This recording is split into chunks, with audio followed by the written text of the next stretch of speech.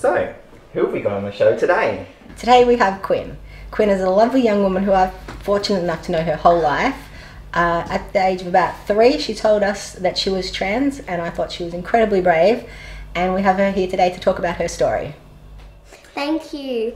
Um, it's lovely being here today. Um, you all look very nice today. Thank you. So it must be, it's very insightful to be so self-aware at the age of three. Can you tell us a little bit about that and sort of how you recognise that in yourself? well, um, I kind of started wanting to get makeup and dresses, and um, from a few people that we know pretty well, they gave um, me this beautiful fairy dress, which I loved for ages, and they gave me a few Barbies and a few toys like that, mm, and that really made me happy. And then I told my mum what I found about me. Um, so when you were first starting to look for uh, female toys to play with, did you have a sister to play with, or any toys at home that you could already access? No, because um, I had a brother Yeah. named Arden who I love very dearly, and um, yeah, he mostly had things I didn't really want to play with, like cars and monster trucks.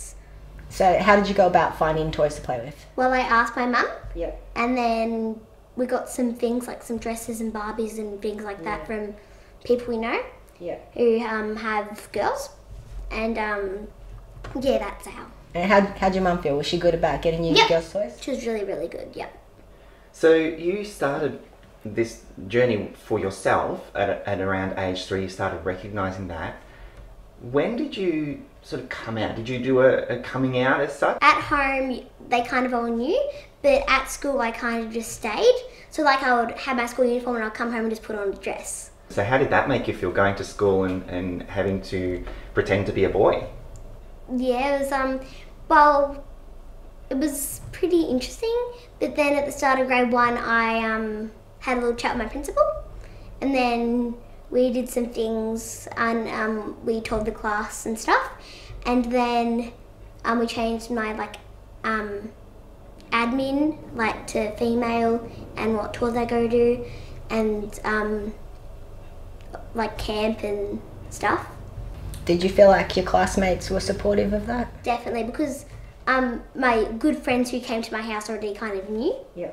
So yeah, they definitely were really supportive. What about the people at school that you weren't friends with? Some of them kind of already knew, um, but some were a bit s- surprised. Can you recall any experiences that were a little bit difficult to navigate at the school? Um, well, some people didn't agree and they were a bit not nice at first. When you say people, are they teachers or students or Um, families? of- students, some Yeah. students. Okay. How did you manage that? Well, I kind of tried to ignore them, and um, most of the teachers are really good and they like knew, and um, but I kind of just ignored them and said, "Well, it's not your body, it's mine." When you first came out and you were telling people that you were, were a, a girl and you had to go and talk about it with your doctors and stuff like that, um, were they receptive? Did you get a good response when you were talking to them? Well, um, the doctor I had, like the GP I had at the time, was a bit concerned because of the country he came from and what, um, like religious stuff. Yeah. Yeah. But So it we, didn't kind of fit in with his beliefs? Yeah. But we did move to another female GP Yeah. who was lovely. So the GP that you've moved to, is she trans informed? Like, does she have some awareness around the needs of trans people? Yeah, she's had, um she told us that she's had a few in the past, which is really good, and that's what we're looking for. How have you found the resources? Because we live a fair way out of the city. Do you have to travel for any treatments? Um, well, I go to the Royal Children's Hospital about once or twice a year. Yeah. Um, with um, lovely doctor, um, um, who was like in the trans part of the Royal Children's Hospital, um, and she like can't. We went to her and we would like explain a lot of stuff what's happening at school, what's happening at home, and then she would like follow it up and fix it and stuff. Mm, So she gave you support at school. Yeah, definitely. Yeah. So, what sort of hobbies and interests do you have? Well, um, I do swimming and drama. At first, um, swimming was pretty okay with it. Like they kind of knew at first, like it wasn't really much of a change, except for what type of babies I wore. And then there was drama, um, which you can be whoever you want in drama, so they kind of already just knew. So that's was fine, and my drama teacher's lovely. I can't imagine you doing drama at all. so, Quinn, can you tell us what's been one of the standout highlights for the last couple of years? Um, definitely the Pride March. Um, it was a very, very good experience. Like, um, I went with my mum and my dad and we loved it. Um, we met Georgie Stone, who um, is a real big person I look up to. It was really fun. There was um, sparkles and signs and glitter and everything. Crazy outfits and so much fun. Yeah, and what was the crowd like? Um, very nice. Like they would have like their flags, like their rainbow flags and everything. So you just mentioned Georgie Stone as a role model. Um, can you tell us a bit more about why you look up to her and who else is a role model for you? Well, um, Georgie Stone, I look up to her because she was like the one that kind of made it fair in Australia. Um, because she went to court and battled for it and all that stuff, which is really good. She battled for getting um, hormones and stuff, so um, I wouldn't be who I am right now without her. So that's why she's a really big role model because she just technically made me me. So your your future plans that you really want to go on hormones, and she Yeah. went and she got legislation changed to say that. Yes, yeah. definitely, yeah.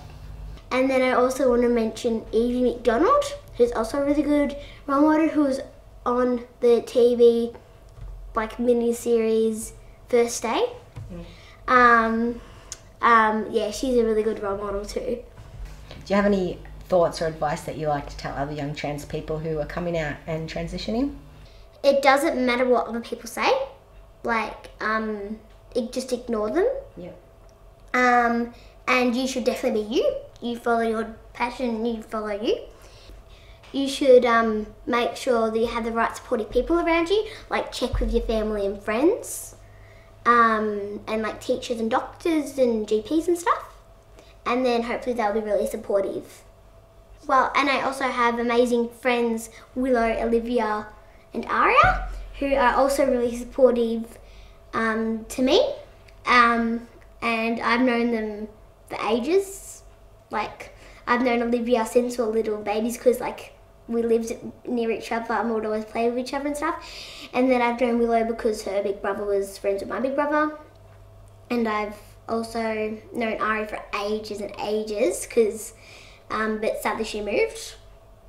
So we're all gender diverse here, and we know that it can be really. We can have some tough days out there in the world because not everybody is accepting.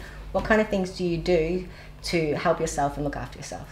Well, I be kind to myself. Yep. I don't hate myself. I just be really kind, and I want to give some advice that you should be kind to yourself, and Yeah. it doesn't matter what other people say. You block them out, and you just be you. Just Yeah. be kind to yourself. What do you do that's kind to yourself? Um, um, I say that I'm beautiful for who I am. Um, I, and um, I love myself Yeah. for who I am. Yeah. Finally, what would be the one thing that stands out to you as the best thing about being you? I get to just do what I've always wanted to do, just be me. Oh yeah, um, I'd like to thank my parents, my friends, and my family for being so supportive, like all my grandparents. Um, I'd like to thank my mum and dad, and my brothers for being so supportive and there when I need them. So, Eli and I would like to thank you for being on our show. And here's a little chocolate. Thank, you. Thank you, thank you, thank you, thank you. Yeah, thank you so much, Queen. Thanks, thanks.